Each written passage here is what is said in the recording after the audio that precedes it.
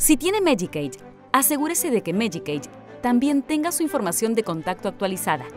Actualice su dirección, número telefónico y correo electrónico para que podamos comunicarnos con cualquier información importante. No espere más.